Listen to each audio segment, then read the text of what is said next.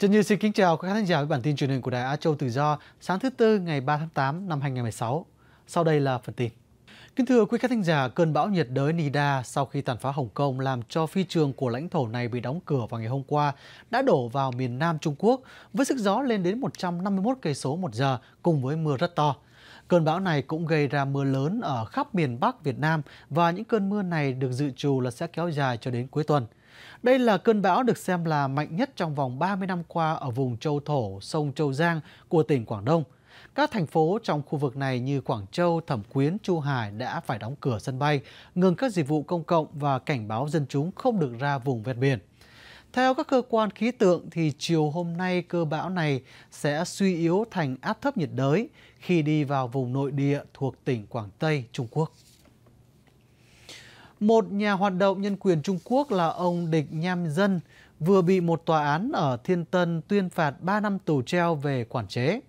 Ông Địch thuộc Tổ chức Bảo vệ Nhân quyền Trung Quốc bị bắt cách đây hơn một năm cùng với 200 luật sư khác với lời buộc tội âm mưu phá hoại và lật đổ nhà nước. Bản tin của hãng tin nhà nước Trung Quốc Tân Hoa Xã nói rằng ông Địch đã tấn công vào hệ thống tư pháp của nhà nước. Trong phiên tòa xử ông Địch, các bằng chứng được đưa ra chống lại ông bao gồm các biểu ngữ, sách, băng ghi âm và hình ảnh. Nhưng tòa không nói rõ là các bằng chứng này có nguồn gốc từ đâu. Nhà cầm quyền Trung Quốc không cho báo chí quốc tế tham dự phiên tòa, trừ bốn cơ quan truyền thông đến từ Hồng Kông. Vợ của bị cáo cũng không được dự khán phiên tòa mà hiện đang bị giam lỏng tại nhà.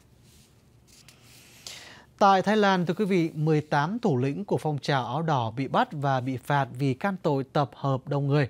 Tội này do giới quân nhân cầm quyền đưa ra cấm các cuộc tụ tập trên 5 người để đề phòng các bất chắc về chính trị trước ngày trưng cầu dân Ý vào ngày Chủ nhật tới đây về một bản tân hiến pháp do quân đội soạn thảo. Luật sư của những người bị cầm giữ nói với hãng thông tấn AFP rằng họ đã được trả tự do chờ ngày ra tòa và có thể phải chịu án một năm tù giam.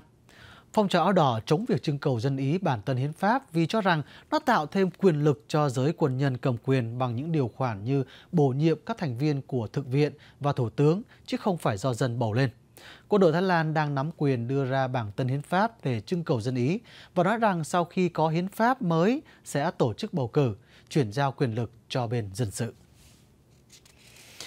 300 nhóm bảo vệ nhân quyền và chống ma túy trên toàn thế giới kêu gọi Liên Hiệp Quốc chấm dứt những biện pháp giết chóc của tân Tổng thống Philippines Rodrigo Duterte trong cuộc chiến chống ma túy của ông ở Phi.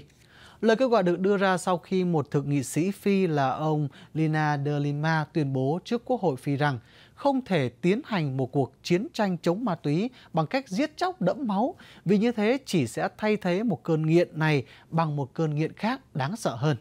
Ông cũng kêu gọi mở cuộc điều tra những vụ bắn giết có liên quan đến cuộc chiến tranh chống ma túy của tân Tổng thống Duterte từ khi ông này lên cầm quyền từ tháng 5 đến nay.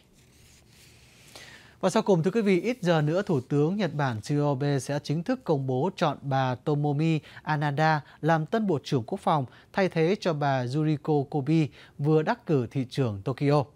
Bà Inada, 57 tuổi, phụ trách chính sách của Đảng Dân Chủ Tự do cầm quyền, là người chia sẻ quan điểm của Thủ tướng Abe về việc điều chỉnh lại hiến pháp của Nhật Bản.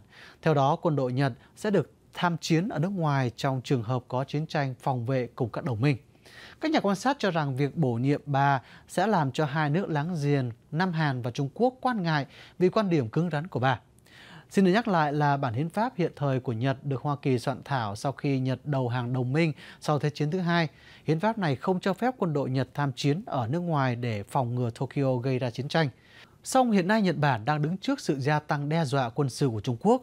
Việc này làm cho Thủ tướng Abe chủ trương điều chỉnh lại hiến pháp và chuyện này đang có khả năng thành công vì phe của ông đã thắng lợi trong cuộc bầu cử quốc hội vừa qua. Quý vị vừa theo dõi bản tin truyền hình của Đài Á Châu Tự Do. Chân Nhiên xin cảm ơn và xin kính chào. Hẹn gặp lại quý vị vào bản tin ngày mai.